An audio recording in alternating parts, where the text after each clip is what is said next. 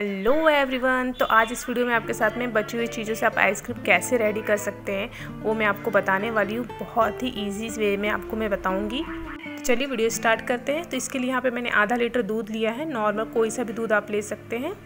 और यहाँ पे मैंने उसी दूध में से निकाल लिया थोड़ी सी दूध साइड में और इसमें तीन चम्मच में कस्टर्ड पाउडर ऐड कर रही हूँ। और ठंडा दूध का यहाँ पर आपको यूज़ करना है मिक्स करने के लिए। गैस पर मैंने जो दूध रखा है, उसमें हल्का सा बॉयल आने देंगे। और इसमें ऐसा कुछ भी नहीं फ्रेंड्स कि आपको बहुत ज़्यादा दूध पकाना है, इसे आपको आधा करना है। फटाफट से बन जाता है, बहुत ज़्यादा टाइम नहीं लगता है, जैसे ही एक बॉयल आएगा, हमने जो कस्टर्ड पाउडर घोल के रखा हुआ, वो इसमें ऐड कर देंगे। और इसे दो से तीन मिनट तक हम कुक करेंगे, जब ये अच्छे से गाढ़ा हो जाए। कस्टर्ड पाउडर जैसे ही आप डालेंगे ना, ये गाढ़ा होना स्टार्ट हो जाता है। उसके बाद दो से तीन मिनट तक आप इसको कुक करना है आपको।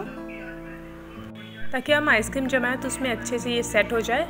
अब यहाँ पे मैंने चीनी ऐड कर दिया है। तो आधा लीटर दूध में एक पाव चीनी का यूज़ करना है आपको। सिंपल सा मेज़रमेंट है, बहुत ही आसानी से बन जाता है।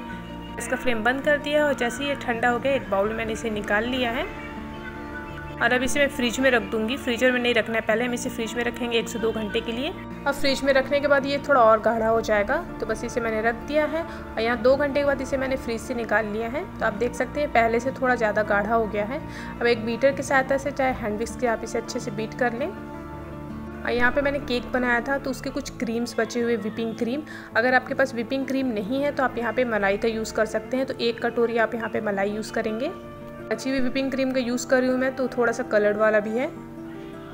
ग्रीन कलर बहुत ज़्यादा नहीं डाल रही हूँ, ताकि इसका कलर ज़्यादा चेंज मत हो जाए।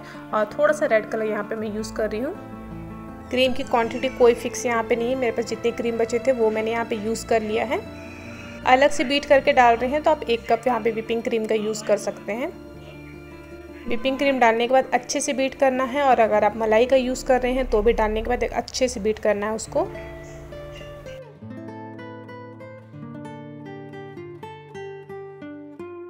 ग्रीन कलर की वजह से थोड़ा सा कलर चेंज हो गया था तो यहाँ पे मैंने रेड कलर का यूज़ किया है। इसी बाउल को दो से तीन घंटे में ढक के फ्रीजर में रख दूँगी। तो यहाँ से मैं फ्रीजर से निकाल चुकी हूँ तो आप देख सकते हैं इसमें आइस क्रिस्टल हो गया है। तो मतलब ये प्रोसेस इसका जमने का स्टार्ट हो गया था तो हमको बीच में इसे निकाल लेना है। ताकि इसमें आइस क्रिस्टल ना आए। ऐसे करने से अगर आप बीच में इसे निकाल लेंगे इसे वापस से बीट करके डालेंगे ना तो आप अगर इसमें कंडेंस मिल्क का यूज़ नहीं भी करते हैं तो आइस क्रिस्टल वगैरह नहीं आता है। और आइसक्रीम आपकी बहुत स्मूथ बनती है। तो इसे एक बार अच्छे से बीट कर लेना है। और हैंड विक्स का भी आप यूज़ करें तो अच्छे से उसे फेंट लें।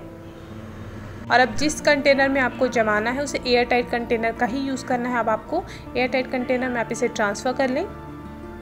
तो दो कंटेनर मैंने ट्रांसफ़र करके पूरी रात के लिए इसे फ्रीज़र में रख दिया था। तो बस फ्रेंड्स ये देखिए मैंने इसे फ्रीज़र से निकाल लिया है। और बहुत ही अच्छी आइसक्रीम हमारी रेडी हुई थी। और बहुत ही जल्दी बन भी जाता, आप घूमते फिरते घर का काम करते हुए इसे रेडी कर सकते हैं। तो इसे बनाकर ज़रूर ट्राई करें और मुझे बताएँ कमेंट में कि आपको रेसिपी कैसी लगी। तो मिलते हैं नेक्स्ट वीडियो में। तब तक लिए बाय